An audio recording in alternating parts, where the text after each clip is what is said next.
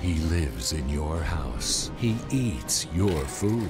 And he won't go away until you pay for college. He is the tuition monster. Oh, That was awesome!